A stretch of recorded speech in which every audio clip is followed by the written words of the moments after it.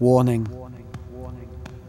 The film which you're about to see is an account of several days, fantastic and unreal in their nature, of one young man making his way through the tyranny and desolation that is middle school. This cathartic tale will remain ferociously locked in your mind for years to come, as the fate of Logan is perhaps one of the strangest sequence of events ever to befall a young man.